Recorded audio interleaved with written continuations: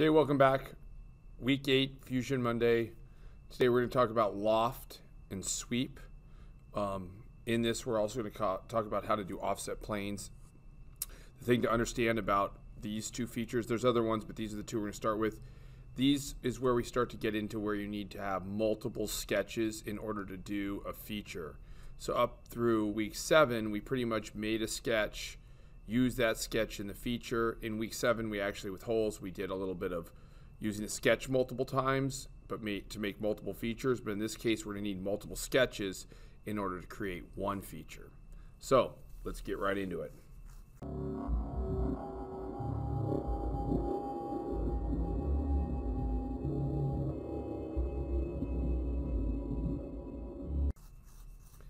Okay, so first thing we're going to do is we're going to hop over to Fusion and we're simply going to draw a uh, inch and a quarter by inch and a quarter square. Now, to understand, this is very, it's more important here than normal to make sure that the orientation between the planes, because we're going to have to make multiple planes. Um, so using a center justified uh, square and an ellipse um, is very important. So if we hop into Fusion, we hop into Fusion, we're going to start a sketch. Doesn't really matter what plane we choose. We are going to draw a center justified square at 1.5, tab 1.25. And then we are going to hit finish sketch. Now we have our first of two sketches needed to make a loft. So the next thing we have to do is we have to do what's called an offset plane. And an offset plane is we need to create another plane a known distance away from this plane. So we are going to go under construct and you see offset plane. We're going to select our first plane, which is the face, and then we're going to drag it up two inches. And you'll notice that down here in the design history, we have a plane that's created that now we can create a sketch on. So if we hit start a sketch and then create that plane, we now notice the origins are going to be in the same place. So now we are going to create an ellipse. So an ellipse is a circle with two center points. So we go ahead and click on ellipse and we're going to select the center point, which will be the center of the square. Drag out our major diameter, which is the bigger of the two centers. So we're going to make that two inches. And then, oops, I didn't do that right. I pressed the wrong button. So two inches, and then we're gonna click, and then we're gonna drag up our minor diameter, which will be 1.5, and click. And there is our ellipse. So it has two dimensions, a major and a minor. I believe that is correct. Let's quickly jump over. Uh, 3 by 1.5, that would be correct. In this case, I'm giving you the radius. You have to do the math.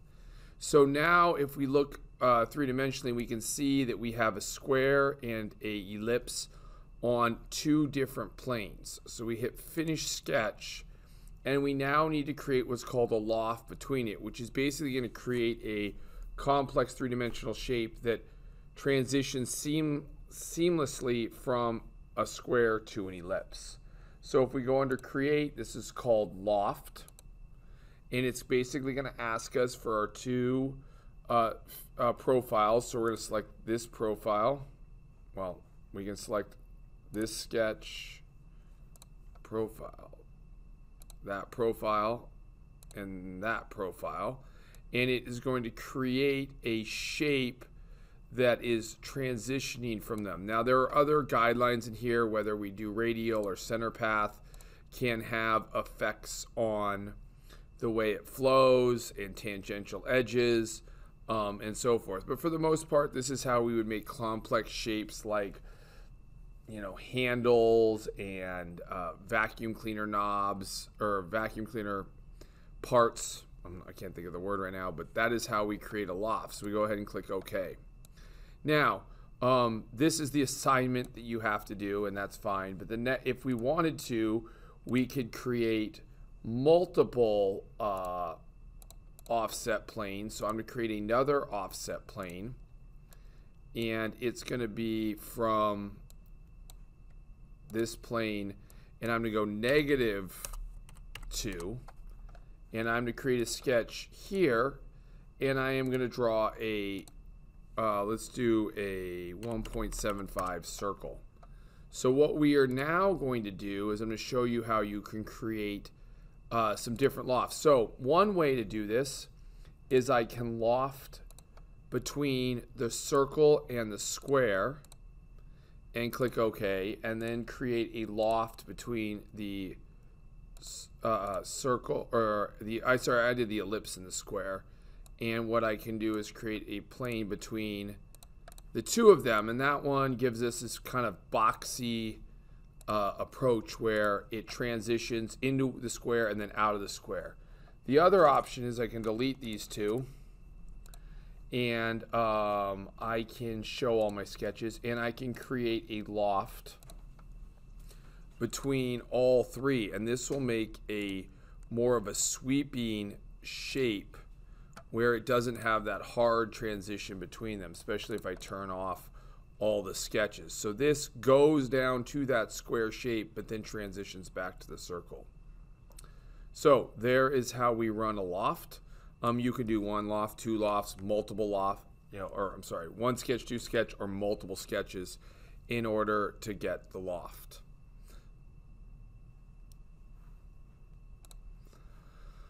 Okay, as we move on to the second part of week eight, we're talking about sweep, and this would be like for piping, a roll bar, a handle, um, like at a going up and down stairs or railing. You would really want to use sweep. So in this case, we need to create a path for the sweep, and I've made this just weird shape. So you can do this exact shape, which I'm going to demonstrate, or you can make a shape similar to it. It does not have to be exactly the same shape I have. That's not really the point. The point is how we do loft. So um, here we go. So we're going to create a sketch, pick a plane, draw out our line. So our first line goes up. It's um, two inches. So I'm to press 2, enter. Our next line goes over at an angle, comes down, goes over, uh, 2, comes down and it should end even with this line. So I'm to do a couple geometric constraints. This one to this one. Um, I'm to dimension from the beginning point to the top of here, which is 3 inches. This line to this line, which is 2 inches. And this line to the end, which is 4 Um, it doesn't like that. Oh, it does. It wants this dimension here, from here to here, which is 1.5 inches. Okay, now this is a case where in the past I've really preached not to use fillet within the sketch, but this is a case where using fillet within the sketch is advisable. So I'm going to go ahead and use the sketch fillet, and I'm going to select from here to here with a 0.25 radius, and then I'm going to continue that on all my corners so we get a little bit nicer of a corner. Um, for some reason, it doesn't like that, but we're going to go with it.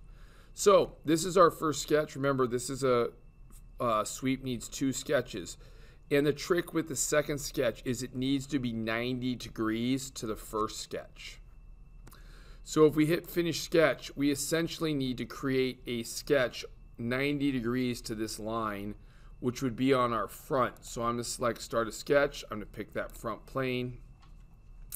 And we can make this any shape we want, but in this case, we are going to make it a 0.375 diameter circle. And we can hit finish sketch. Now we are essentially done with sweeply setting up the sketches. So what we're going to do is we're going to take this circle and we want it to follow this path or sweep along this path to create this shape. So if I go ahead and hit uh, uh, not revolve sweep, and select that profile, select the path, and it creates that shape.